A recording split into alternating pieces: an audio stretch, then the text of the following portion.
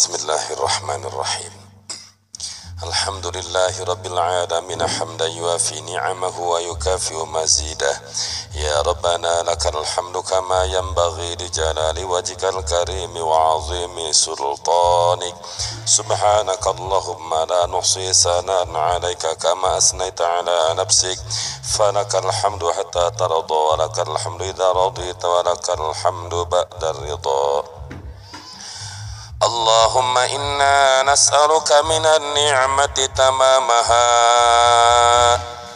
ومن العصمة دوامها ومن الرحمة شمولها ومن العافية حصولها ومن العيش أرغده ومن العيش أرغده ومن العيش أرغده ومن العمر أسعده ومن الوقت أطيبه ومن الإحسان أتمه ومن الفضل أعذبه ومن اللطف أنفعه ومن الرزق أوسعه ومن الرزق أوسعه ومن الرزق أوسعه اللهم اللهم كن لنا يا جبار ولا تكن علينا. اللهم كن لنا يا جبار ولا تكن علينا. اللهم كن لنا يا جبار ولا تكن علينا. اللهم اختم بالسعادة آجالنا وحقق بالزيادة أعمالنا واقرم بالعافية غدونا وآصلنا واجعل إلى مغفرتك ورحمتك مصيرنا ومآلنا. واسبب ستار عفوك على ذنوبنا واجعل التقوى زادنا وفي دينك اجتهادنا وعليك توكلنا واعتمادنا. اللهم خفف عنا ثقل الأوزار ورزقنا معيشة الأبرار ورزقنا معيشة الأبرار. ورزقنا معيشة الأبرار. واكفنا واصرف عنا شر الأسرار. واعتق رقابنا ورقاب آبائنا وأمهاتنا من النار. برحمتك يا عزيز يا غفار. يا كريم يا ستار. يا حليم يا جبار يا الله يا أرحم الراحمين.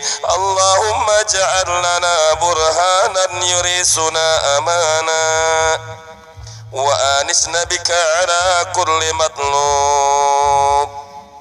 وأصحبنا بعون عنايتك في نيل كل مرغوب يا قادر يا جليل يا قاهر يا عظيم يا ناصر.